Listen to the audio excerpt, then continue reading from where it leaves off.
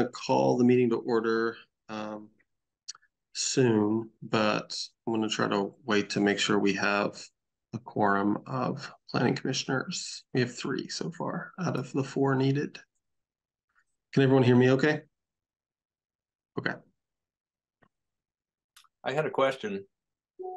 This Sure. is being recorded, I gathered. Will it be available for people to watch somewhere, Orca or what city website? Y- later on. Yeah, it is. It's being broadcast on Orca as well.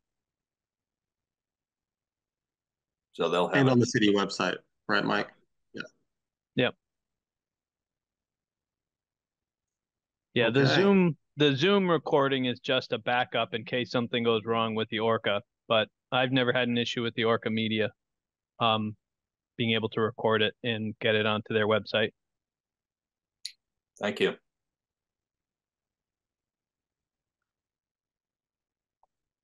Okay, so we've got plenty of planning commissioners here now. So I'm going to call the meeting to order. This is the September eleventh meeting of the Montpelier Planning Commission in twenty twenty-three. Um, we first have to approve the agenda because this is a, it's a regular planning commission meeting, so we've got to go through the typical uh steps.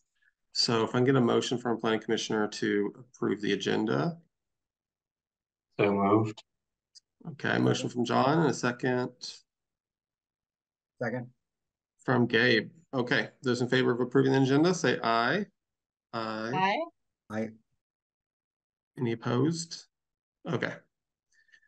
Agenda's approved. Um, the next thing on the agenda is comments from the chair. Uh, you know, today is about comments from everyone else. Um, that's not on the planning commission, so I'm gonna just skip that for now. Um, later on, I'll be doing an introduction to the listening session, but for now, I don't have anything else to, to add. Um, except maybe to planning commissioners that, you know, summer's over, so we'll be resuming our normal meetings. We've we've missed a few recently, but they'll be coming at a normal rate in the near future. Just so everyone knows, in case they're wondering. Okay, um, the next thing on the agenda would be general business, which would um, that's normally a time in which we would take any questions or comments or concerns about anything that's not on the agenda. But considering the vast majority of this meeting is about hearing comments about density, I am going to assume that there's also people who want to participate and give ideas about other things. Um, but I think putting that before the density conversation doesn't make as much sense. So if everyone's all right, I'm gonna essentially bump that down one on our agenda. Um, and to put it another way, uh, I just plan to, once we're done with the dens density discussion and people uh, are, are through giving us feedback, um, then I would want to just open it up to other zoning issues that people have and do it that way, if that's all right with everybody. Okay, so so that's going to be our plan. So with that, uh, we are at the reason for the evening, which is the Montpelier Planning Commission's holding this listening session for uh, the development of some potential zoning amendments. Um, Mike is going to give some background. Um, before I pass it off to you, Mike, I, I did plan to just kind of introduce some of the some of the topic here, which is uh, you know, welcome. I'm Kirby Keeton. I'm the chair of the Planning Commission in Montpelier. Um, this discussion that we're going to have is mostly about the concept of density and zoning. So one thing I wanted to make sure that we um, cover before jumping um, into it is to make sure that we're all on the same page about what density is. Um, so just in case anybody's not incredibly familiar if they're fuzzy about it, um, in the zoning context, density is the number of the units that are allowed per square foot on a parcel. So um, that's that's the you know as as it's used in the Montpelier zoning, that's what density means. So what it doesn't mean, just just for clarification, is um, it doesn't have anything to do with the size of a building. It doesn't have anything to do with the shape or the design or anything like that. Um, we have a whole bunch of other zoning that does address that stuff, um, and other things, um, like design review too, which we're gonna be talking about tonight. But, so that's what density is. It's about the number of units that are allowed on a parcel for, for the square footage of the parcel. The reason why we're having this discussion, or a big part of the reason anyway, is that uh, an organization called Congress for New Urbanism, which is a planning think tank, um, a national, um, well-regarded think tank, uh, kind of on its own, uh, working with AARP of Vermont, reached out to uh, the city. Uh, it's been a year and a half now, actually, and uh, one of the major suggestions that they had was that Montpelier should get rid of its zoning density caps because uh, they thought that was one of the quickest ways to to bring down barriers to housing. Um, so what we've done tonight to kind of set the stage is the planning commission's put forward some of its own ideas about about how we could go about addressing this. Um, it it's not just the Congress for New Urbanism, by the way. I just want to make that footnote. It's also about housing for us because that's a big priority. Um, our understanding is that uh, a majority of the residents in Montpelier recognize that that a lack of housing is a major problem in Vermont, potentially the biggest problem in Vermont. And um, he's probably up there with childcare as something that's just always a, a major problem in the last decade or so. Um, and so it's a major problem, and you know that's that's part of it too. And housing, you know, is on our minds all the time with Planning Commission. Um, what we put forward was a few ideas. I'm going to throw them out there real quickly because I don't want to take up a ton of time. But um, some of the things we put out there for people to respond to are the potential for us to not have density caps, a density cap being, you know, a limit on how much density, how many units are allowed on a parcel um, in the uh, design review district, which is a district in our zoning that is regulated uh, based on the appearances of things because um, Congress for New Ur Urbanism noted design the design review district and design review rules uh, in its letter. And it's also, we know, a concern of the community um, that any changes we make that are that are to encourage housing, we want to balance with the aesthetics of our community. We want our community to have the same character that we want to just allow space for more people. Um, so that's one thing, no density caps in design review district. The logic being design review district already covers aesthetic issues um, very well. Uh, another thing we've thrown out there is just allowing four units everywhere. Um, and that would just mean that uh, if you, you know, if you're trying to have uh, an um, an in-law apartment situation, or if you're trying to have like create make your house to a duplex, that um, which that's allowed everywhere. But if you're trying to add units and you've already got a small number of units, that's just going to be something that Montpelier allows. Um, we've also, you know, considered something like maybe instead of moving away from density entirely, like CNU had suggested, we could double the density and we could do things like um, instead of basing it on design review, we could just base it off of eliminating density uh, just around the downtown area and kind of do it um, in a in a different like something that's off design review but but similar. So those are the things we've we've kind of put out. We're really looking forward to what hearing what other people have to say.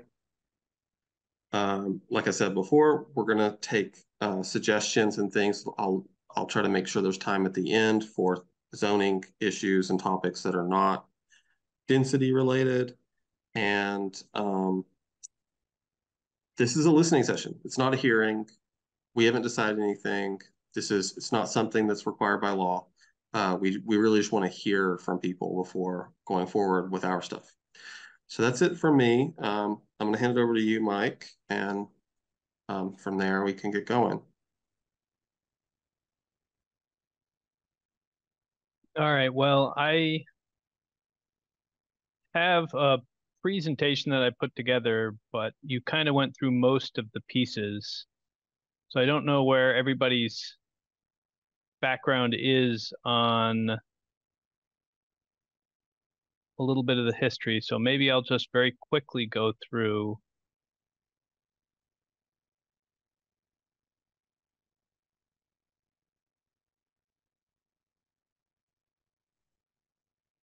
and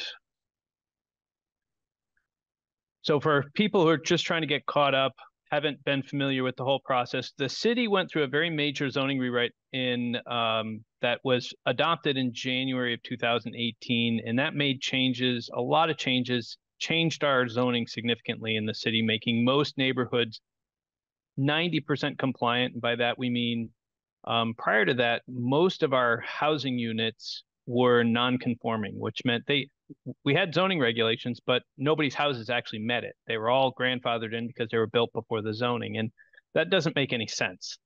Uh, if we love our neighborhoods, let's make the rules that allow great neighborhoods to be built. So we changed our zoning to make sure that 90% of our neighborhoods were correct. So um, your setbacks would match what your what we actually see on the street, and your densities and your uses all matched what was on the streets. Uh, we also made changes that allowed duplexes on all conforming lots. We added some environmental rules that didn't exist before, including riparian wetlands and slopes. We loosened the rules on parking, which used to be very strict, um, not necessarily in how many parking spaces were required, but in how you count them and how you're allowed to put them in. And we streamlined the permitting. So permitting is much faster, much more efficient now. Uh, and then we amended them about once per year to fix a number of small things, some small, some big, but we would each year come back with another amendment. And the last one was done in 2022. We haven't made an amendment yet 2023. This one was supposed to be in March and then April and May and June, and now it's been pushed. So we're still trying to get this one in for this year. And as Kirby mentioned, we did after those were reviewed, we did have AARP and the Congress for New Urbanism take a take a look at them. Uh, I won't go over this too much because Kirby kind of went through it, but um, they recommended moving away from density. Uh, they noted that design is more important than density. And if the city has strong design regulations, then they didn't feel we really needed to be regulating density as much as we are. And I wanted to point out that the city has revised and updated new design review regulations in 2020 and adopted new design guidelines in 2022 that help people applying for and people administering those new design review rules. And this is a picture. Um, don't know if you can see my cursor, but you know, here we've got Main Street. Um, no, here we've got Main Street kind of coming down through the red, the red blob Here's State Street. This is the area with the Capitol complex. This larger pink area is National Life is up in here. So if you're trying to get yourself oriented a little bit, and East Street, this is um, the college is in the design review. Barre Street is coming down in the this lower arm, and then Main Street, the roundabout, and a little ways past the school. So kind of gives you a little bit of an idea of what's in our current design review district. Um, you'll sometimes hear the historic district. The historic district is different. It's a it's it covers different properties. Um, so some areas where you see like 9-3 and 9-4 would be in the historic district, but not in the design district.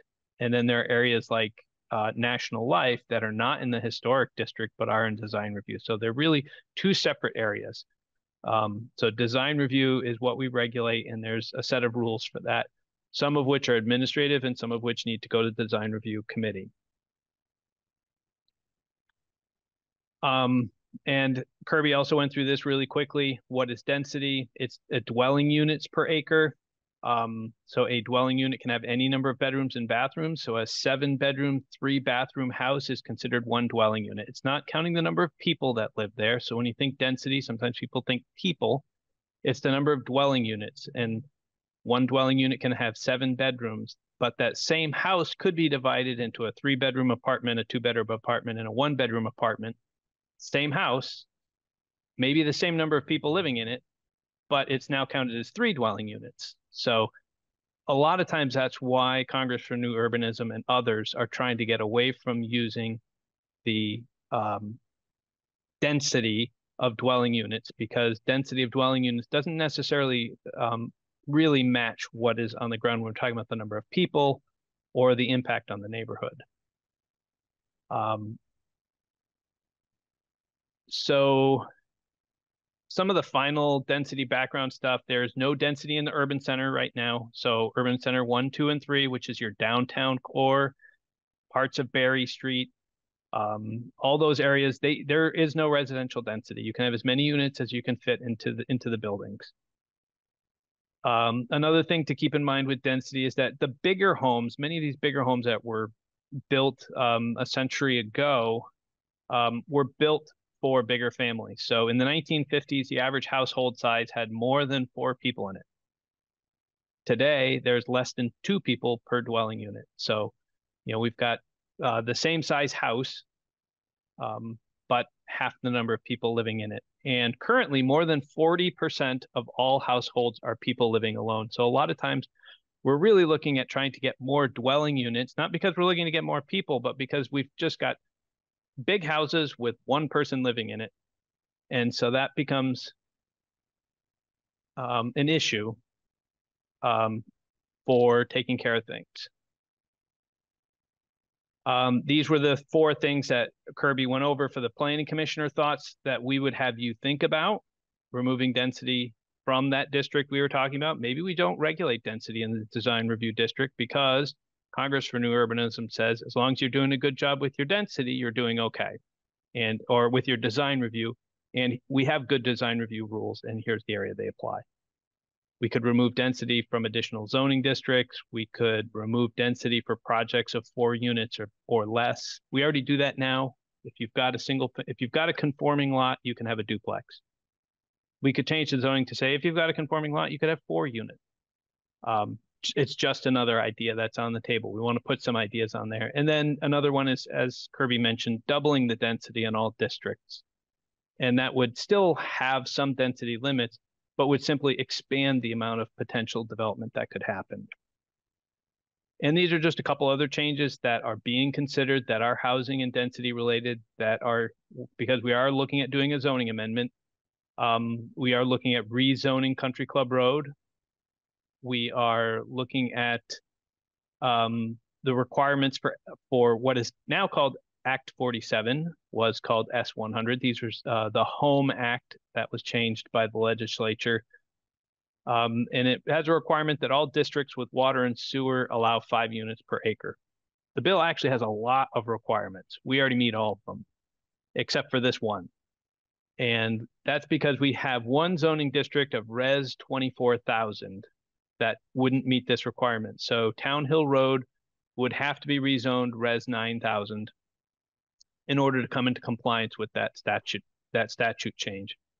And there's some argument res 9000 may need to have density of one unit change to have one unit per 8,712. That's five units an acre. The reality is I don't think so because um, we already allow two units. So everyone with a conforming lot can have two units. So I think we already meet it and we could leave it at res 9000. But I did want to just mention these are the only things Home Act related because somebody may have a question on that. Um, and then we had some other changes that we're looking at, like splitting multifamily into two groups and a few other smaller things. But that's not really the focus of this conversation today.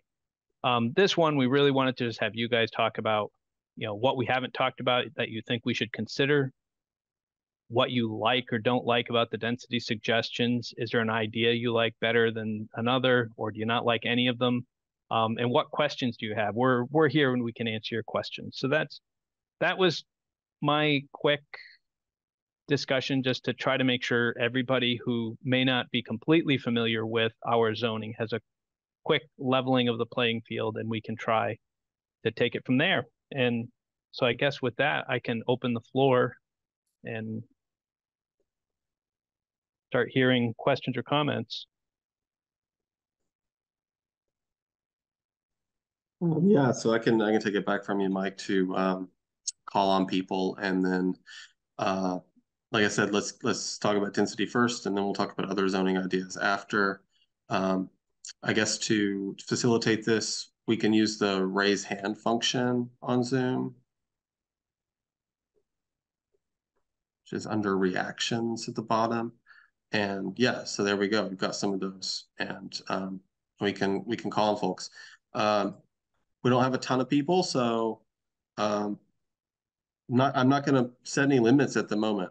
Um, I'm just gonna, gonna see, see where we go without rules for a minute. Like if we zoned without rules, maybe, that'd be crazy, huh? All Uh, anyway. I'm, I'm gonna be helping somebody get on, so I'll let you guys Okay. handle it and I'll be working on some stuff in the background. We got somebody who's trying to get in. Okay, thanks, Mike. Okay, Barb, um, you're first on my screen, so go for it. Um, sure. Um, Mike, be- uh, I know Mike's leaving, but does the Homes Act require that us, that we allow any, any house to be four units? That was the way I was reading it. Yeah, I, I had the same question. Did we get you, Mike? It looks like he's unavailable. It looks like he's Yeah, on it does phone. look like he's So- unavailable. All right, so right, we'll- let's ask We'll save that. that one. Save it for later. Um, Yeah. I mean, there, there are certainly some benefits to, I mean, that's why we did the duplexing in the first place. There's certainly benefits to increasing that to four units per building. I, one of my concerns is what would we do about parking?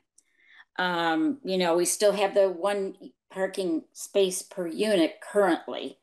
Um, and that's going to increase the amount of, uh, parking required. Um, also, and this is maybe just, this is just my particular uh, bone to pick, but it seems like every time, when we add an ADU, there's an additional pretty substantial fee for a sewer hookup, even if we are not hooking up sewers. So does that mean that four units um, adds that cost to a homeowner uh, for each of those additional units? Um, and I think finally, my concern about the four units per building is, does that trip any kind of sprinkler requirements from the city? So, um, I'll just leave it at that in terms of, of that particular piece of, um, the zoning suggestions about four units per build, for acre, or sorry, four units per building.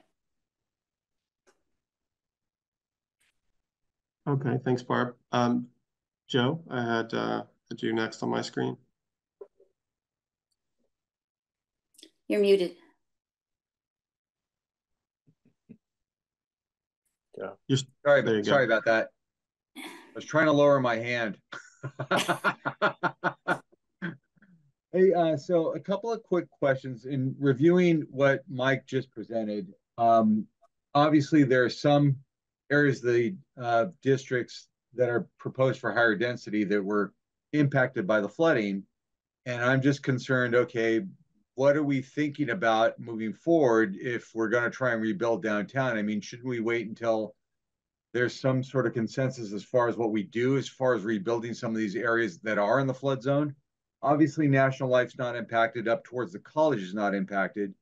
But I'm just concerned that we increase density and um, we're gonna be in a flood zone and we saw what happened downtown in July of this year. And we don't know whether we're gonna have a similar situation next year or ten years down the road.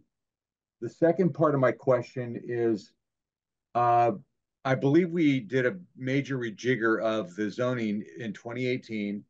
I wanted to find out what the impacts of increasing the density has been so far. Have we seen a dramatic increase? As far as I know, we haven't seen a dramatic increase as a result of the density. So I'm wondering if this change is gonna have zero effect as well. And then the last question I had is, I believe that it was Minnesota eliminated um density limits in twenty nineteen, right after we changed our zoning, and I believe that initially they haven't seen much in terms of results. I was wondering if there's any studies that you are aware of to figure out what's the long-term impact on something this this big of a change is. And I just want to find out if you have any data. um, yeah, it looks like Mike's occupied. I can try to handle, um, what I can about what you asked. Um, as far as the flooding is something that we've talked about. Um, in general, just outside of this, uh, conversation, because it, it's bigger than that. You know, the idea of new construction in flood areas is, you know, something that's put on our mind. And, um, so far, uh, we've talked about how with new construction, it has to, it has to be built to, with flood mitigation in mind, and we have a lot of, you know, we have a lot of rules about that. Um, the, and then Mike can speak to uh, specific like examples better than me, but my understanding is that, uh, you know, a lot of the buildings that have, that, that were hit hard with the flood were uh, like grandfathered, you know, they're not, they're not as high up as they should be. They, you know, they have basements when, when we actually wouldn't allow that now. Um, and on and on. Um, so we, if, if, if any new construction happens, just period, due to any kind of zoning stuff we do or some other reason, uh, you know, we're expecting that if it's happening there, that we actually do have good rules and regulations in place for new construction. We just haven't had a lot of new construction, so the stuff we have is not caught up.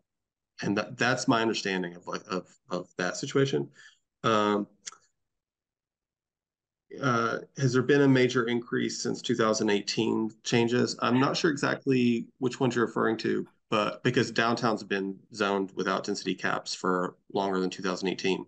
But um, uh, I don't know of any significant uh, moves forward from that, and and I don't think that this we don't see this change as any silver bullet type thing whatsoever. We see this as an incremental, you know, there's a lot of barriers to housing, and this is one, but it's by itself. We're not expecting it to be huge.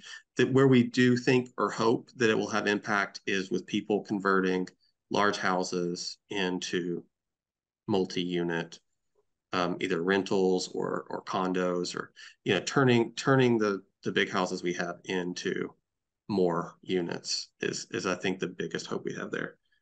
And the Minnesota thing, um, I don't know, but that's interesting. I'm I'm interested in looking up. Um, Mike's Mike's back on. Mike's Mike's back. So uh, uh, Joe had asked the question, Mike, about um, if you know anything about any studies that are done or just anything about um, Minnesota's experience with changing density um, or getting rid of density caps. I I haven't heard anything specifically from Minnesota on that. No. Um, I've I I've I remember the past year or two that there's been a lot of people patting themselves on the back for doing a lot of the stuff that we'd been doing already, but a few of them had had removed density caps, but I haven't I haven't seen any report of what the impacts of that have been. I assume it's probably Minneapolis or or that area. I think it was the Twin Cities. I believe that they eliminated there. It may even be a state law at this point. I remember reading an article. I'd have to see if I can dig it up, Mike. I may have saved it somewhere. Um, I can see if I can get it to you. I I can Google it. I'm sure it'll pop up on on enough of my listservs that I'm on. Okay. Uh, Steve, uh, I have you next. Thanks. Thanks for the opportunity to, to speak. Um, my interest and concern, really, and request to you is that you defer any substantive discussion of actual changes um, in zoning in density, what have you, while the city wrestles with the aftermath of the flood. We certainly have a housing crisis in the city, but I think our overwhelming reality at the moment is the aftermath of the flood and where we're going to go from here. Um, the city, as you know, has undertaken a, a citywide kind of all hands on deck approach to um, reviewing what happened and looking at uh, ways to go forward. Among other things, expertise will be sought from hydrologists, from engineers, from structural engineers, housing people, public safety officials. We honestly don't know um, what direction the city is going to want to take at this point. And I think that it makes sense to defer any substantive discussion of zoning until we know what that might be.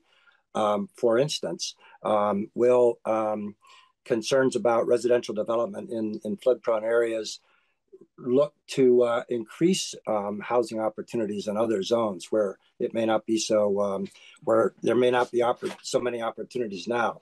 Uh, Mike mentioned the country club changes. Will the city want to do more at the country club that is not partic- that is not uh, consistent with the present ideas on zoning changes. I honestly don't know, and I don't think any of us know at this point.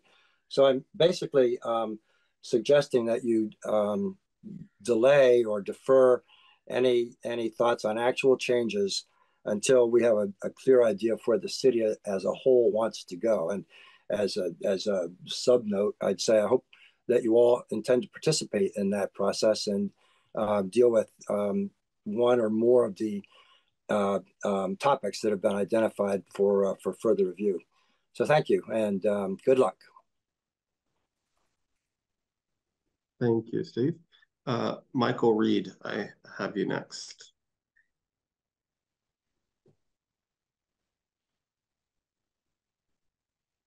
Yeah, uh, thank you for uh, allowing me to speak.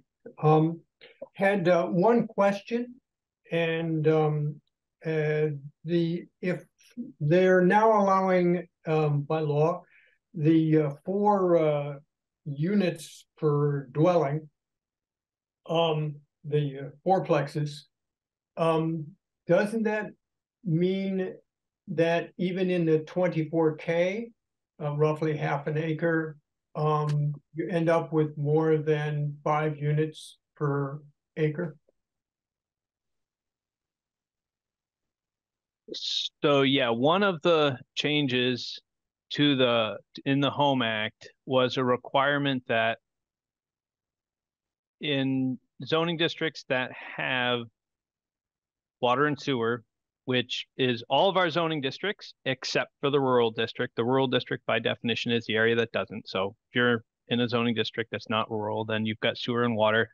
And by by law in 2024, when it goes into effect, it has to be a permitted use for single family, two family, three family, and four family. That doesn't mean the four family is exempt from the density requirement. So if if you were in a we'll just round things off. If you're in a quarter acre zoning district, then you'd have to have one acre in order to have your fourplex. So that's it, but you can't make it a conditional use. It has to be a permitted use. Um, so even though you might have a, say, a, a, third of an acre lot, um, it wouldn't necessarily allow you to have four units because you still don't have enough density. And that gets to the other part that we're talking about, the density requirement. Should we have this density requirement? Um, does that kind of answer your question? I think so, yes. Um, okay.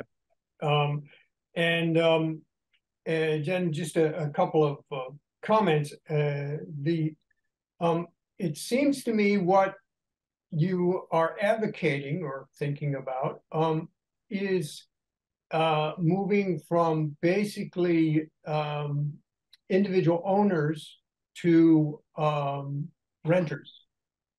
Uh, if you're talking about uh, dividing up uh, large houses into multifamily units, um, then you're going from uh, going in from a, a, single owner to a landlord tenant arrangement. Is that um, basically what what you're thinking about? Uh, doesn't technically have to. So one of the differences is um, you could. Uh, we don't regulate the ownership type, so you'll you'll you will find a, a number of these in the city um, on on Loomis and, and Liberty. You'll find some. They'll make condominiums, so you'll actually divide it up and buy and sell pieces of it. So you might own um, a third of the house. All three of you are in a condominium and you own three pieces of the house. So it doesn't necessarily mean it's going to be landlord. You could still end up owning a portion of it as a part of a condominium. Um, so that's, but yes, it would, there is that obvious, obviously there would be a number of things like um, making more landlords, but it's not necessarily the only outcome that could occur. Mm-hmm. Okay. Uh, I would just yeah. I would throw in there on on just the policy issue of um, we we know that we need um, we need renters and homeowners in Montpelier. Both both the housing market and the rental market are both you know um, statistically in terrible shape. Um, so I guess we're not thinking about that specifically. We're hoping that it helps both. Okay. Um, yeah, and I would uh, make the observation that from other cities and so on that that is likely to change the character, um, for better or for worse. Um, and then uh, finally, uh, I'd like to follow up on one other um, person's uh, comment is that um, uh, I would like to uh, have a good feeling that um, these uh, the changes in density that are being discussed will really help the housing. Um, and we've seen a, number of uh, developments in the, the, Montpelier area that seem to be moving very slowly. One which uh, sounded really uh, uh, promising up at Isabel Circle, which was going to be cluster housing and so on. But my understanding, it's now just back to single family. So there seem to be a lot of uh, barriers to to housing. And um, I would hate to see the city changed dramatically in, in its character um, without really uh, addressing, and I, I should say uh, individual neighborhoods changed uh, in their character without adding a lot of housing um, and still having this the, the, problem of the other barriers being there. Um, certainly the what I've heard, the little I've heard from developers is that Montpelier is a, a really difficult place to do development. And um, it's uh, it's not just the uh, the density uh, requirements that uh, are keeping them from uh, from building. Thanks. Thank you, Michael. Uh, Phil, you're on next on my screen. Thanks. Uh, I just first wanted to clarify. I'm not sure I quite understand the requirements of the new this new Act 47. I went and looked at it. I'm just going to read one sentence to you. In any district that is served by municipal sewer and water infrastructure that allows residential development, multi-unit dwellings with four or fewer units shall be a permitted use unless that district specifically requires multi-unit structures to have more than four dwelling units. So I, I guess before I for my comments, I just wondered if Mike could explain one more time to me um, how how this works and why that density rules would override that requirement in this law.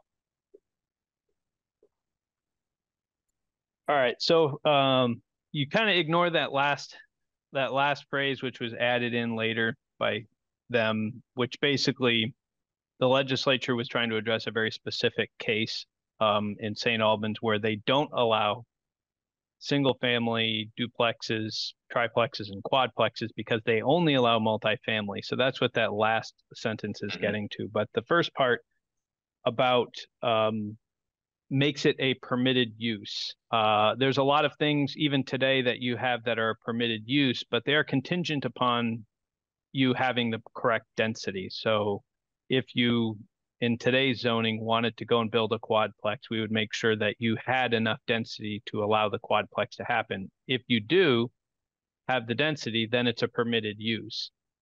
And uh, we had, I think, the same question that you're rolling around and pondering in your head, which was um, what did the legislature mean in this? Did did they mean that quadplexes, four units, are allowed anywhere single family homes are allowed, or is it um, as we said with with the density? So we did contact our attorneys, and we got an uh, an opinion from our city attorney that said it was what I explained how I explained it to you, which is that the density still applies. It is a permitted use. So um, if you were in residential 6,000, you would need to have 24,000 square foot lot in order to put in a four unit building. But that would be a permitted use and could not be a conditional use under the new state law.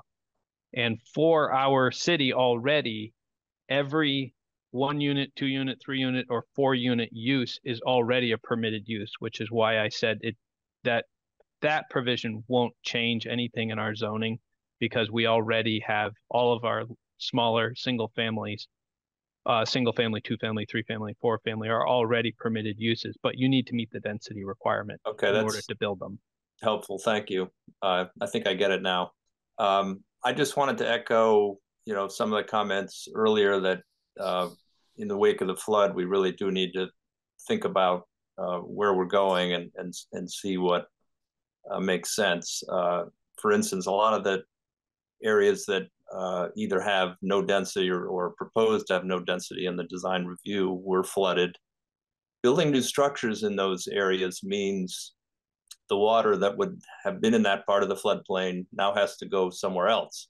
So it, it in essence, uh, it displaces the water when you when you build in these floodplains, and, and I think that's what a big thing we're wrestling with is how do we allow the the river to flow, and uh, so you know I, I, I think there's some question as to whether that makes sense. Um, the other thing, if we if we build a lot in the areas that were flooded, and a flood comes, even if they're above the flood level, those people may need to be evacuated, uh, and we'd have to have plans for that. Uh, their all their cars would have to be moved out uh, if if they're in the floodplain. So, I I, I just again uh, think maybe we ought to think a little bit more about um, where we want the development and whether we want it in the floodplain. Um, you know, beyond that, um, I, I do. You did say Kirby that this would be an incremental change. Uh, I, I don't think I've seen a lot in the neighborhoods that's come about with the density we've seen already. I think it's really the answer to the more housing is, I'm afraid, big projects, which there's several being talked about. There's the Bow Brothers Apartments, Isabel Circle, Habitat for Humanity, Down Street, Country Club. Um, building is so expensive. I saw a figure recently that building a house or apartment unit is five hundred thousand dollars or approaching that. And so I think building larger projects at scale may be the only way we're really going to get more housing. Um, I'm also beginning to think that Berlin and their plans for Berlin Town Center may be part of the answer for our area. And uh, so it may be that downtown Montpelier isn't the right place for some of these projects. Um, you know, it's a very frustrating situation with housing now. The interest rates have gone up. The construction costs are high. We don't have enough workers. You know, the Great Recession, a lot of people got out of construction. So it's it's it is a challenging thing. I read recently that the Chamber of Commerce is pushing the Vermont Futures Project, in which they're proposing that we increase the state population by 25% in the next 12 years. Um, I, I, just don't see how that's going to work with these challenges for housing. Um, I'll just finish with two quick ideas. I've been promoting this for a long time. There are a lot of homeowners who, uh, who are getting on an age and might want to downsize to a smaller house. Uh, so if there are condos or units available for uh, those folks, that would open up their homes to to younger families. Uh, if you're selling a house, you do have some money to put toward a new unit. So uh, some finding some way to encourage that kind of construction in Montpelier would make sense. And I don't know how you accomplish the last thing, but we have an extreme shortage of workers, and and whether you could get employers to get together and and build some housing that would be for their own workers, uh, something along those lines um, may be needed. I I just see shortages everywhere, um, and I you know they're building a more new memory unit down at Gary Home. It'll be interesting to see if they can find people to staff it. So that that's a big problem, and I don't have a real solution, but just wanted to mention that. But uh, thank you for your work on these. I think these are big topics, and you know the public needs to chew on this stuff a while. So I again urge you not to rush and maybe have another hearing with a little better publicity about what's happening. Unfortunately, that bridge issue where you had the ad was just after the flood, and that never got mailed to everybody in Montpelier. So uh, I think there are a lot of people who haven't become aware of, of the kind of things being discussed here. Thank you for your time. Thank you, Phil. Um, Joe, uh, you're next on my screen, but I'm gonna I'm gonna try to give um, Nathan a turn first, uh, and then I'll circle back, um, assuming you still have something. Mm -hmm. um, go ahead, Nathan. Sure. Uh, hi, everybody. Thank you for holding this, and I'm sorry that I had to join late. I, I was on another meeting, so I don't I don't want to assume that uh, things that I have to add are not already been covered. And Mike, I missed your I, I gather you had an initial presentation, and so I'm sorry to have missed that. Um, I think that, uh, you know, Phil's comments about building actual brand new housing, uh, as far as I can tell, are accurate. The math is is almost insurmountable in terms of if you want to build rental units and and make the math work. Uh, at least from my perspective as a sort of small time landlord. Um, but we have a way just give a couple of examples of ways that we can make incremental difference. Uh, my wife and I just bought a duplex uh, on Brown Street, and it's a it's a it's a very large square foot building. Uh, it's on a very small parcel, and with the current density rules, uh, the only way we could add, you know, transform parts of that building to a third or fourth unit is by using the uh, the plan unit development um, and having to, to check the boxes in terms of getting density bonus. Um, and those are not those are not necessarily easy hoops to get through, uh, and they some of them add cost. Um, if the density uh, if the density levels were changed or opened up, um, you know, with a lot less investment, I could make that building into a four unit building, add add two units of housing to Montpelier, which would be I don't know something like 20% or 100% of which housing's been added in the last year. I'm probably, that's hyperbole, but you know, when we look at how much housing are we actually adding? And, and the answer is very, very little. Um, to me, that seems like an easy, an easy way to get to yes. Um, we have, we have two other properties that have uh, sort of, you know, garages or outbuildings that I could see becoming housing on a similar footprint to what they have. I uh, haven't done the density test in those cases, but um, you know, I would I would love to get to yes on that. I would love to be able to do that. Um, and we're, you know, I, I we're at a stage in our lives financially where you know we can take maybe some risks and and wait a little bit longer for something to pay off. Ten years ago, that wasn't the case, and as soon as the kids are in college, that may not be the case for a little while. So I just think you know, not all of us are Malone or Rubellini or or whomever who have. I'm making an assumption, but who have access to capital that I just don't have, and and maybe their timeline is different. Um, but I think that I I can't imagine that I'm alone in terms of um, folks who who have control over some property and have you know care to attend to the housing issue and and want to make you know I would love to make uh, something that's accessible flat living. I'd love to make, you know, there there's just there's some great goals we could we could work towards. And I think so my, you know, uh change the density uh limits would be my first ask. Um and then I haven't it's been a little while since I've read through the zoning, but the you know height, I think if if someone were to build something new, if you can go to five stories instead of three or and, and again i may be operating on bad information there may not be height restrictions as i think there are. Uh, at least we're not facing at least in some districts um, the need for there to be parking spots for a new unit. Um, if they're if that's still true in outlying you know res whatever I, I don't know what the other settings are but uh, I would love to see that go away. Um, I realize that it's not, it's it's fraught, right? Just people are going to find a place to park their cars if they have them. Uh, I'd rather I'd rather deal with that problem than deal with the fact that housing is going to become unaffordable for many people in Montpelier because I have I control you know part of the very very limited stock of rental housing, and one effect of that is that I can essentially start charging almost anything I want if I chose to do so because people are so desperate to live here. And that's that's a kind of injustice that i i think we would rather not support.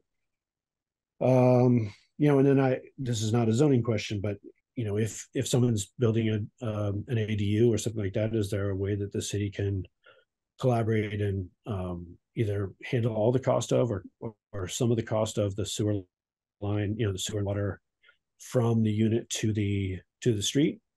Because again you you know, I, I, haven't priced that out, but if it's twenty, thirty thousand dollars, that's a huge delta on a on a sort of small project, and be great to see that.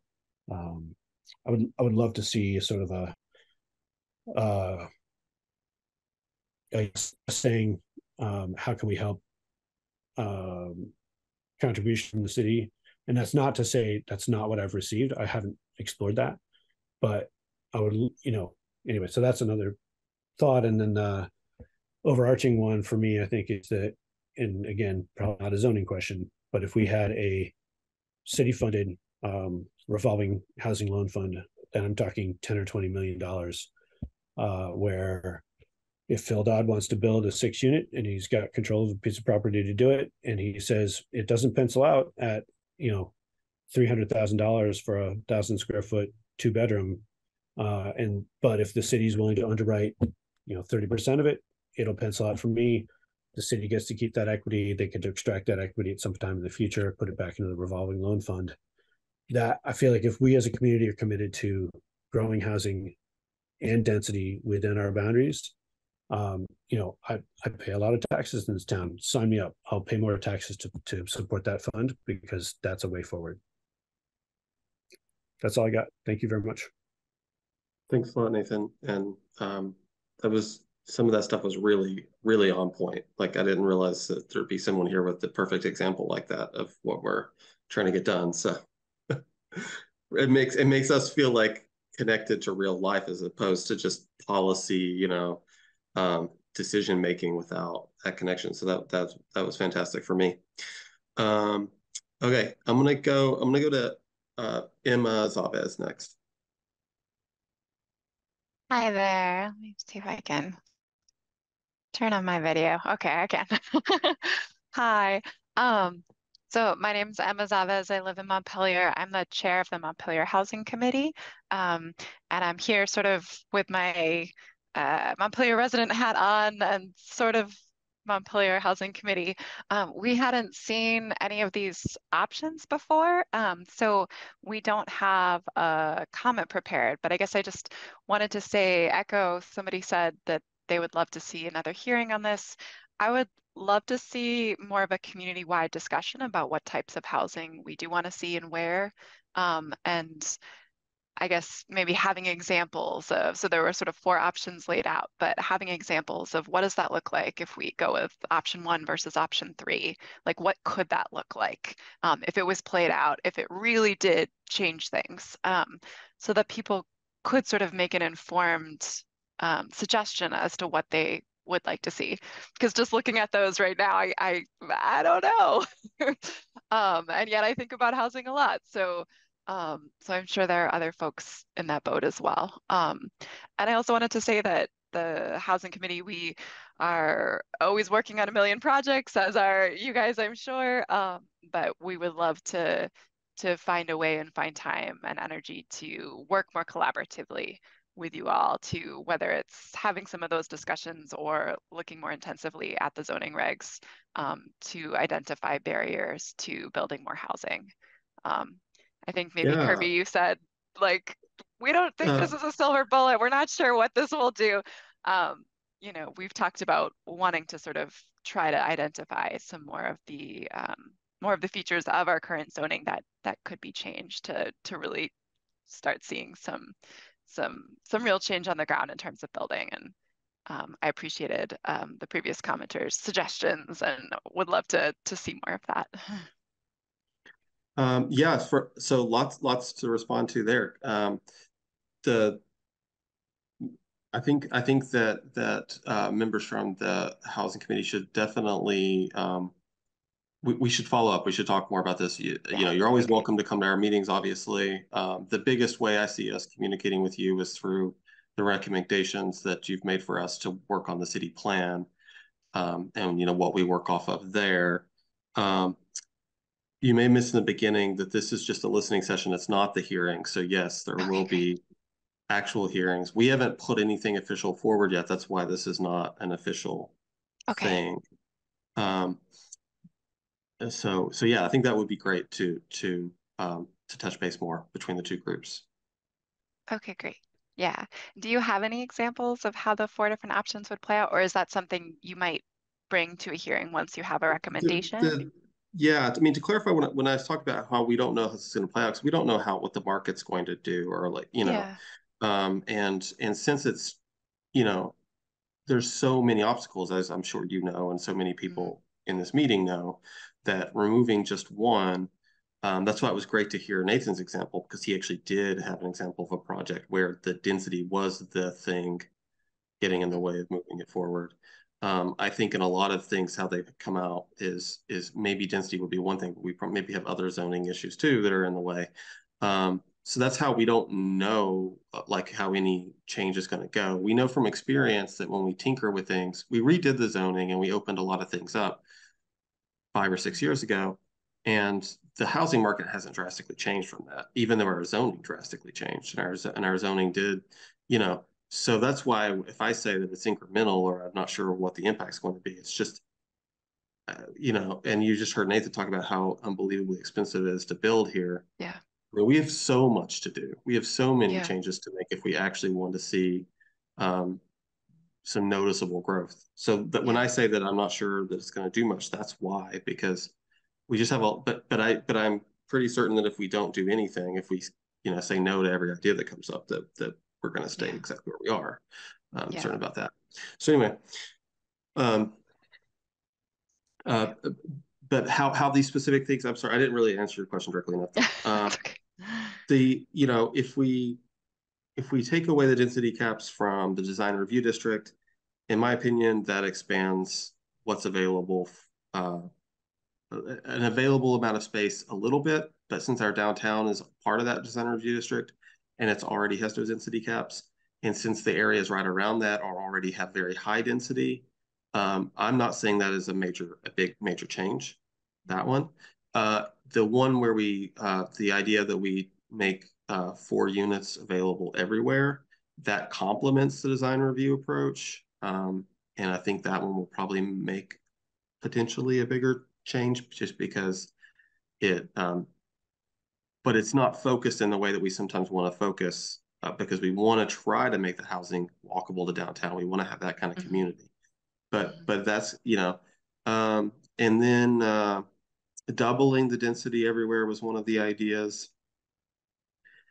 The downside for that for me is that we're still talking about density all the time.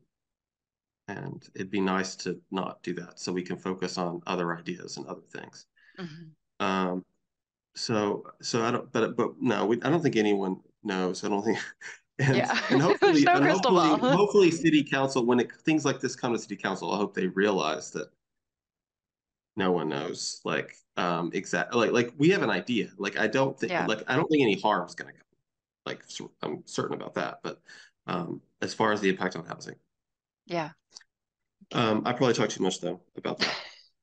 Thank you so Uh, much. so- Yeah, I'm gonna. I guess- uh, Yeah, go ahead, Yeah, I guess I could, I could, I'll add just two, two things real quick. One, um, one is the, the reason for some of the incremental density suggestions that were in there. Um, you know, we went through and recommended in two thousand eighteen that anyone who has a conforming lot can have a duplex. And the reason for that was because anyone who, you know, it's already state law, anyone who has a house can have an ADU. And the ADU is uh, an accessory dwelling unit your accessory dwelling unit is capped at 30%. And everyone was like, well, why don't we make it 50%? Well, 50% of your house is a duplex. And they said, we'll just allow duplexes. So that's how we made that suggestion. It pretty much, let's say, we'll just ignore the density and allow you to have a duplex. And, you know, the, the world didn't come to an end. And a lot of people have a lot of concerns about removing the density requirement because what could happen um, you know, this could happen or that could happen, or somebody can tear down their house and put in a 16 unit building. Um, and we we've gone through these public hearings before and we've heard those arguments before. So a lot of times when we talk about this more gradual approach, the gradual approach of let's double the density. Um, and the idea is let's double the density and show everybody the world's not coming to an end. Everybody's not tearing down their houses to put in giant things. Or let's allow four units on a conforming lot. And really the idea is is not that we want everybody to run out and and convert their house to a four unit. Um, everybody still there's no requirement to do it. It's just gives somebody an opportunity if they've got the right building to make that happen. Um, and some of this, so when we talk about having kind of a gradual approach, you know, um, I think as as professionals, as in the planning commission, the, the thought is we don't really think it's going to have a big difference. If we got rid of the density requirement, there's a lot of things that are still problems for developers. Um, but we don't think that the catastrophic um, things that we sometimes hear at hearings will happen. So that's why we've talked about let's gradually, you know, let's double the density or let's make these. And the reason why is just because we want everyone to feel comfortable that as we slowly remove density as being a requirement, that people will see the world's not going to come to an end. And you know, if there are, as they they say, there are things that could be problems, we should be able to see them as we gradually re release the density requirement. So I think that's what that's what we're looking at, um, and that's somewhat of somewhat of that. And the second comment I wanted to make um, really goes a little bit to to Emma's role and to Nathan's comments um, about things like can we have a housing revolving loan fund and we can we have these other pieces? And the housing committee is does have a subcommittee that is working on those revolving loan funds. Now we don't have 20 million dollars uh, we're far from it but we do have a housing trust fund and we do have a housing revolving loan fund and so we are trying to come up with what is the best way that we could use these money these monies to leverage more housing. How can we make this happen? And so there are people on the housing committee who are working on that exact question. And so uh, if you've got good ideas, I'm sure the housing committee would love to hear different ideas of how we could use some of our housing trust fund money uh, and how we can use some of our housing revolving loan fund money to support um, accessory dwelling units or other projects. So I just wanted to add that in. That's it. Yeah, thank you. Um, okay, so uh, Jessica uh, is up next on my screen, and then I'm going to circle back to you, Joe. You've been waiting very patiently. Hi.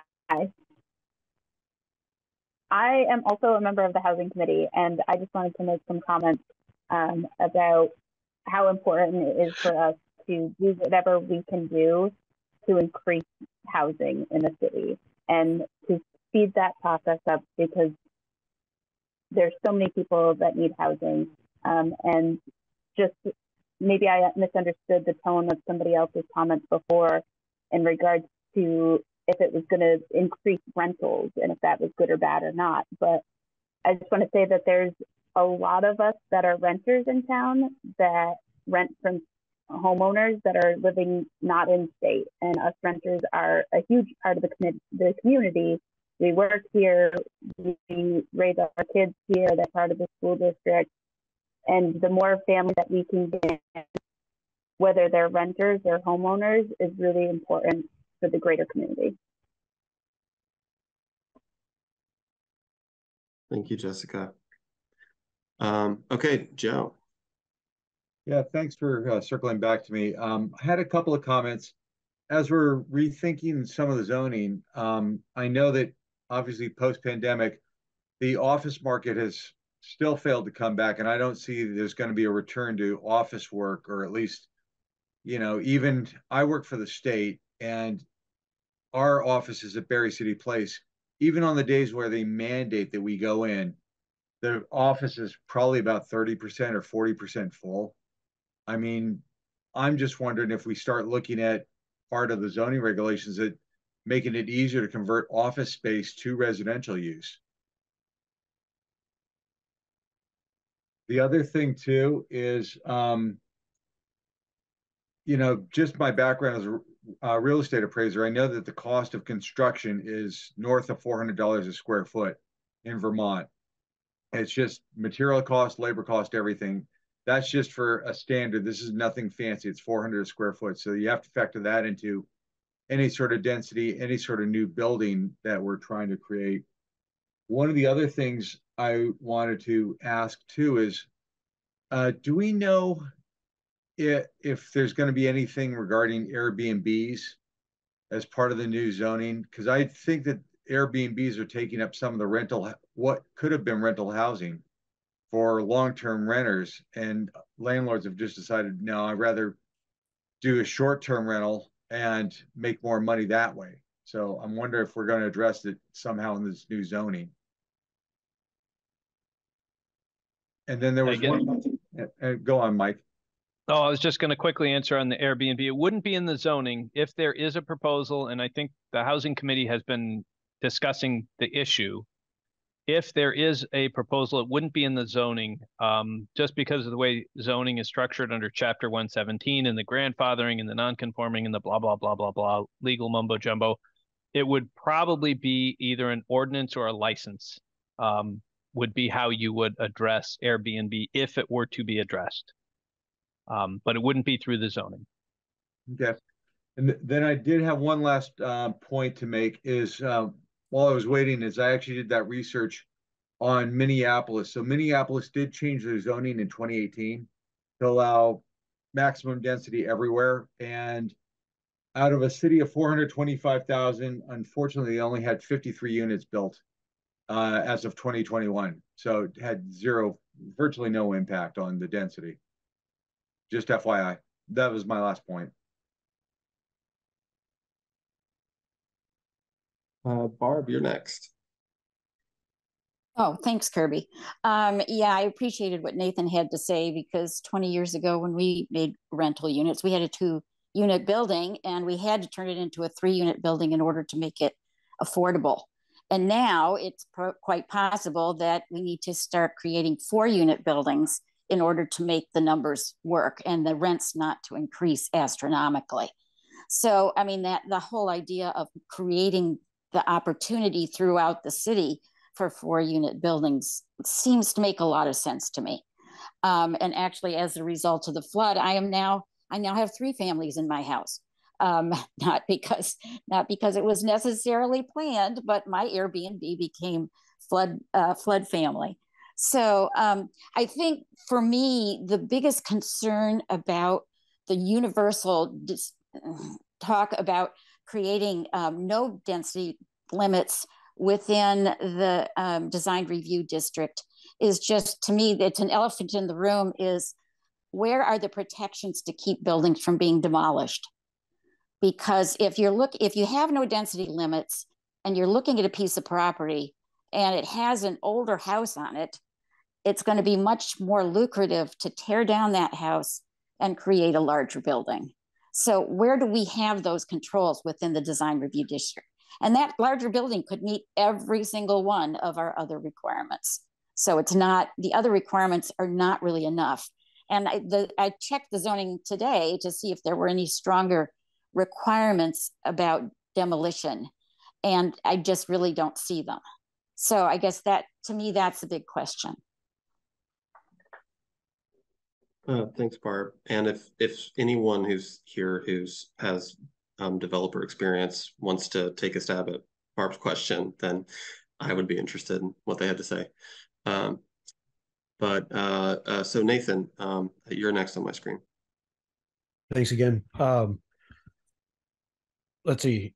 I think so. When I talk with Greg Gossens, who has way more experience with this sort of thing than I do, uh, Gossens Bachman is or GBA is involved in a project in Burlington right now, which is it's north of 30 units. I don't know how many more, but we talked about the you know what um, Joe just talked about, $400 a foot built, and Greg said in Vermont the only you know the tipping point on that being economically viable for a developer is about 30 units and above.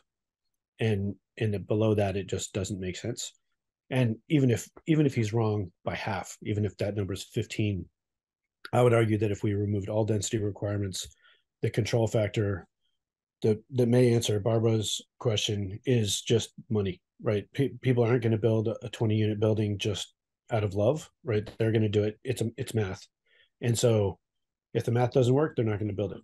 And you know, you can you can look at the last, as far as I can tell, the last dense-ish thing that was built was on Cedar Street, built by Merrill, uh, a six unit, where you know, and he sold it to a year and a half, two years ago for 1.2 million. Um, it's six, it's six two bedrooms. Um, I think that's the last dense thing that was built in Montpelier. And I, you know, I don't know how the math worked for him. Um, but my guess is, um, my guess is he did make a killing having built it, owned it for a number of years, and then sold it, even at sort of peak COVID sales price. So I think there are some natural controls uh, And my what I was going to say is, wouldn't it be great to find out where that line is, right? Wouldn't it be great if we just removed all the con- all the limits on density, and somebody built some thirty unit monstrosity, and we're like, holy shit, we don't want any more of that. So let's go backwards a little bit, right? Like where we if we just if we do this incremental, like oh, let's ease them a little bit more and see what happens.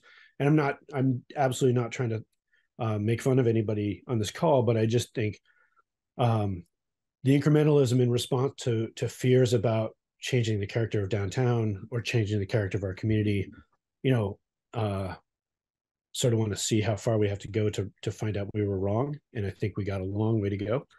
Um, let's see. And then the other thing was about, and and I'm a little bit out of my depth here, but I think that there's some restrictions on change of use.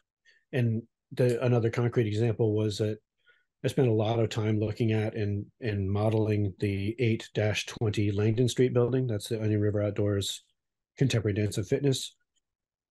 It was owned by Andrew Brewer, uh, purchased by Gabe and Lucky, I think. Um, and Gabe, I think maybe is on this committee supposed to be. Anyway um you know i don't know i would love to hear what gabe has to say about that but when i looked at that and i thought okay what if a bunch of this building were converted to housing? Wouldn't that be cool? Uh the change of use stuff uh may trigger ada stuff. It may trigger you know and some of that is quite possibly out of our control. I don't i don't know the details there but i think you know that's a that's a large building. And if if that could have been converted a bunch of that could have been converted into housing. That might have been a plus six plus seven plus eight units um you know and then after from purchase to a year and a half later and that would be pretty awesome. So i don't know you know i don't, I don't know what sort of yes factors would have to be put into play to make something like that possible but i don't know who just said it uh i think it was joe. You know is is sort of class a b office space second floor third floor stuff is that just not as much a thing anymore? And if case, and if that's the case, what does it take to convert it to housing? Thank you all. Uh, thanks, uh, Nathan. Um, Peter, you're next. Uh, yeah, I'm Peter Kelman. Uh, I live on uh, Mountain View Street in uh, Montpelier. Um, I'm going to tell two sad stories of my attempts to build, uh, uh, or actually to convert um, for rental to create more rental apartments. Um, uh, 1214 uh, Baldwin Street is a state-owned building, which was advertised um, as being ideal for a um, conversion in, into uh, um, rental apartments. Turns out not to be not not only that it's not ideal, it's impossible. Um, I uh, looked at the building with a contractor we saw that we could, uh, you know, with putting some money into it, of course, uh, put in seven apartments. Two of them would have been able to be completely ADA um, uh, compatible because they already were. The, because it was as a state office building, uh, it, it, was made uh, so that certain parts of the building were uh, ADA wide wide doors, etc. Um, uh, and I was informed immediately uh, by the uh, Department of uh, Planning and Community Development that no, I couldn't put in seven. I could only put in five because if you do the density calculations, eh, that's 5.3 and you can't put in three tenths of a uh, apartment. So it could only be five apartments. So already the math becomes less favorable for me because uh, with seven apartments, I could keep the rents low, um, et cetera. And I said, oh, and and I said because I know something about the uh, requirements. I said to the uh, the department, I said, well, and what about parking? You know, there's no there's there's no room for parking on that in that uh, on that property because it was a state-owned property and the people uh, from the state used the state parking lots. Um, could we get a waiver for uh, uh, for not not to have to provide any parking? Well, no, you can't really. You could apply for a waiver uh, uh, you could apply to reduce to reduce the number of parking spaces. I said, well, could you guys talk to the state about this? Could you see whether the state who wants to sell this building and says it's ideal for residential, do they know that you guys have this requirement? Oh, you can do that, they tell me. Well, who do I speak to? Well, we, we reached out to the real estate agent who handled it, said, no, you can't have that.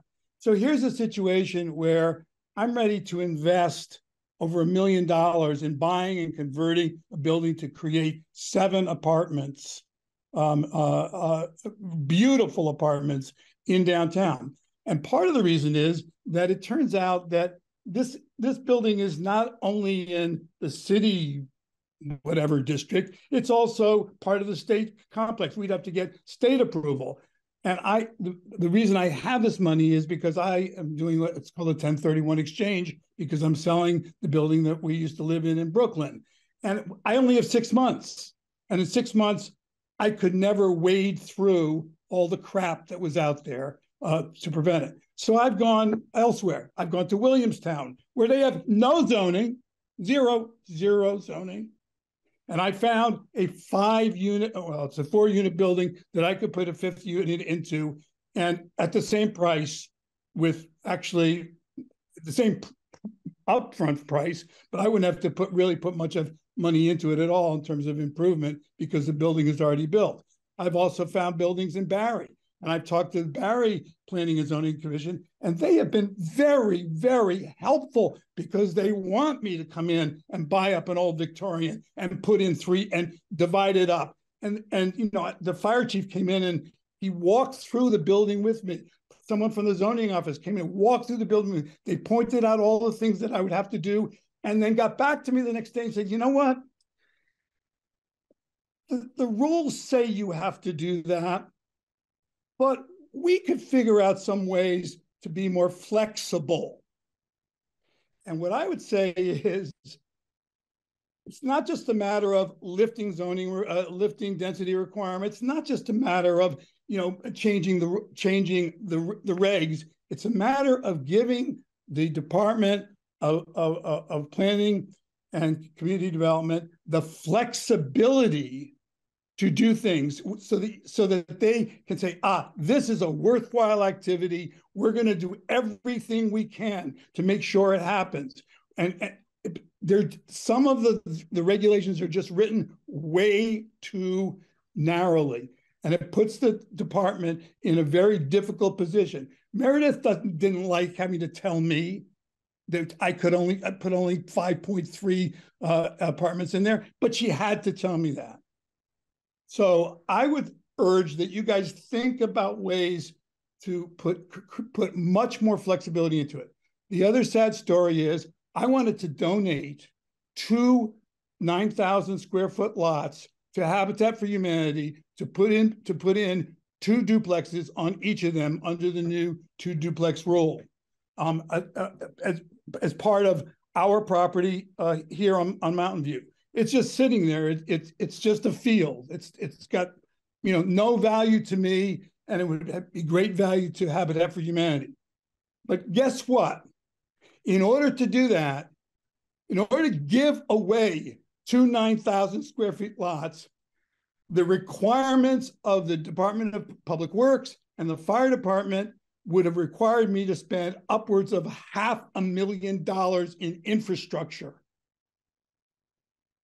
because we would have had to put in a fire hydrant at the end of our street, the, the, the water to go to that fire hydrant, the sewer line, which doesn't go be, doesn't even uh, ser serve our house, uh, uh, uh, what do you call it? Wastewater, um, sorry, um, stormwater uh, controls, paving the road. And for the fire department, we would have had to put in a huge um, cul-de-sac so the fire trucks could turn around. Guess what? We already have a place where Casella trucks turn around, fire trucks turn around, snow plows turn around. But no, we have to put in a, a, a, a, a cul-de-sac, which would take away land, making it even more difficult for us to do the subdivision that we were going to do to enable this. Again, where is the flexibility? Where is the where is the t- where is saying, hey, we are in a housing crisis. You are I'm willing to give away some land. Habitat had the plans to build it, and it, it's virtually impossible for us to do it. Thanks.